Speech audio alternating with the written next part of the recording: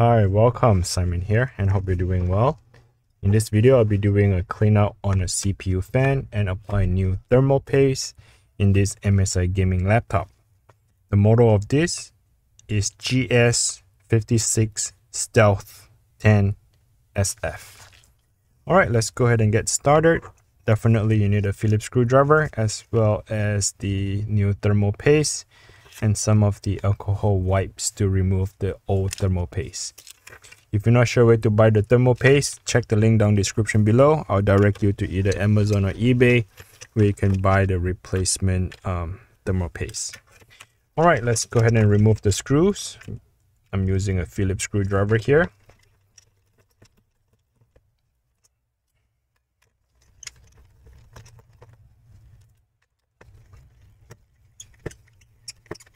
It looks like the screws are all the same size, so it is okay if you mix match the screws, except the one in the middle, the bottom middle here is a lot shorter.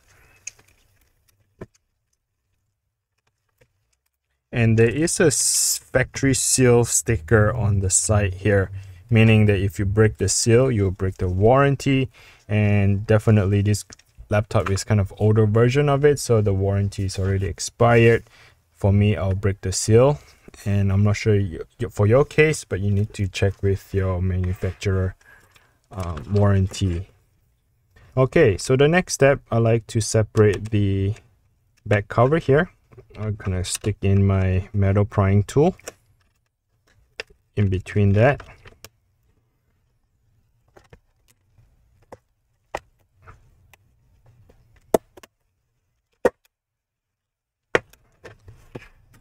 I missed one of the screw. I apologize. And then the entire back cover would just come right off. Okay, so the next step I like to do is disconnect the battery. You want to slide the connector down towards your body. So slide it down.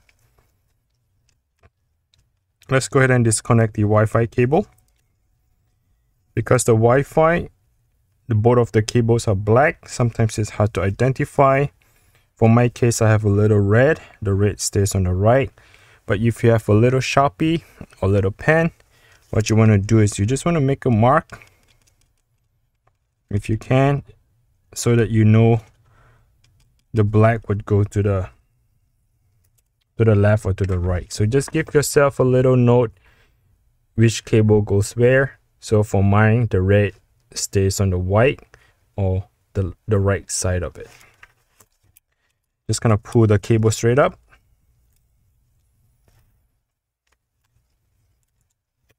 All right, the next step is go ahead and start removing the screws.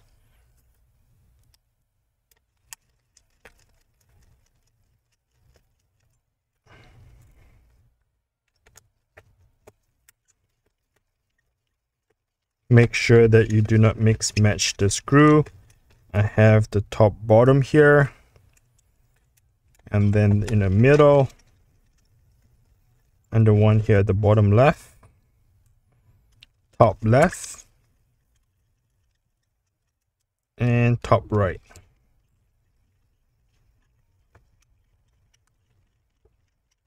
So there are five screws holding down in this section of the heatsink and the rest of it is the CPU screw. So there's one here.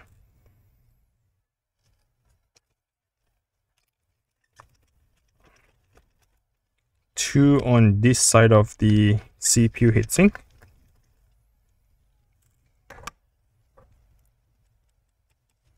Okay let's go ahead and disconnect the CPU fan connector.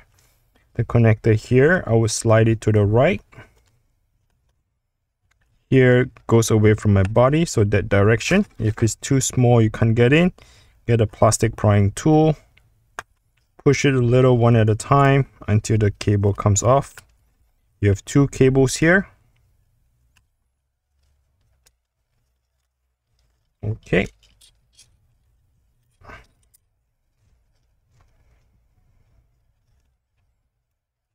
So now I can try to separate the heatsink what I like to do is gently lift it up. You want to put a little bit pressure, not a lot, and you want to let it takes time to separate by itself, meaning that the thermal paste and the thermal pads and those pads are glued together, so it takes time to separate on its own.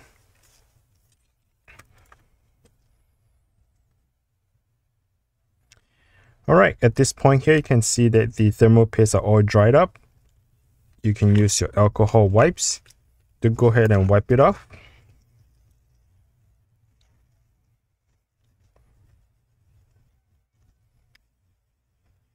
The one on this side is the graphics card. I can see the NVIDIA chip label is on the top. So let's go ahead and wipe it off and make sure that the thermal paste are not falling onto the motherboard. Here would be your CPU.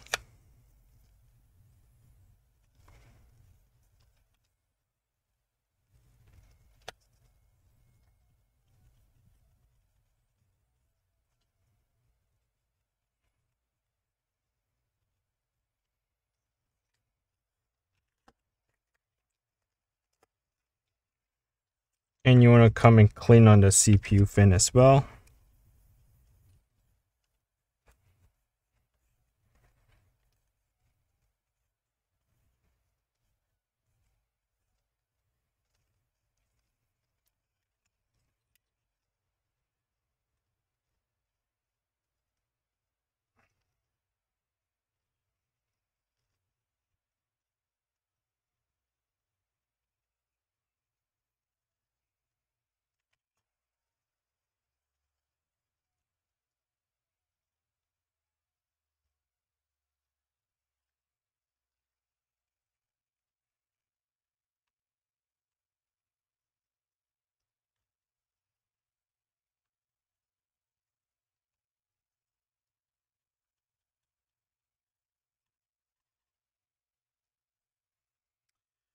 Okay, once you have the good clean out, what I like to do is maybe come back and scrape off some of this um, thermal paste here is still kind of stuck on the around the side. You don't really have to worry about that. The most important thing is the one that is having the contact to that copper heatsink. Alright, once you're done with that, the next step is to go ahead and get your new thermal paste. I like to make a little X across the uh, this GPU. I'm just gonna dabble a little bit so that it will spread it around. Okay, that should be plentiful enough. All right, before I put the heatsink back, what I like to do is to get the A-Can duster to dust off the CPU fan. I'm going to pause the video here because I like to do this outside of my shop. Do not want to do it inside and get all the dust around it. Okay, so I'll be doing it outside. I'll be pausing the video. All right, the cleaning is done. Uh, just gonna get the A-Can duster to dust off all the fans. Swipe it down a little bit and it's all good to go. So the next step I will be installing um, the heatsink back together.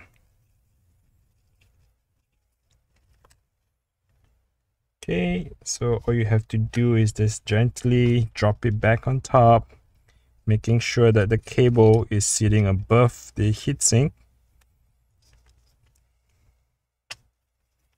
Okay, we have everything in place. Make sure the fans are nice and smooth when it spins. Okay, so we are going to put the screws back together. That is for the top left corner. And there's one here at the bottom right.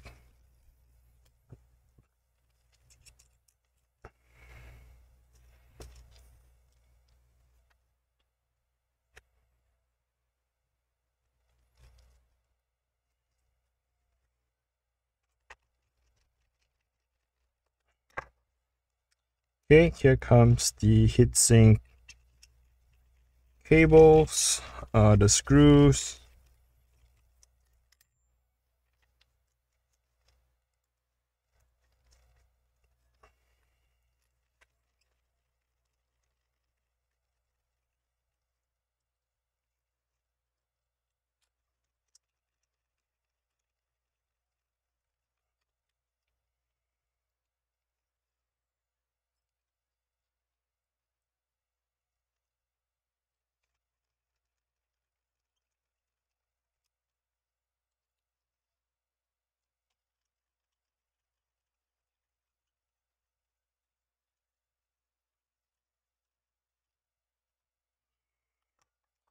Okay, make sure you want to reconnect all the cables back together. That is your CPU fan connector.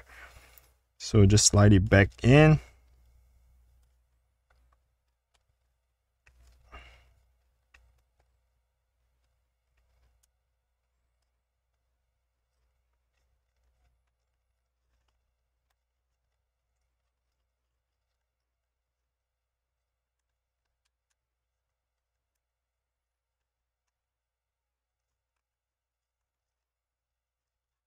Okay make sure everything is in and remember the the red little dots is on my right side of it.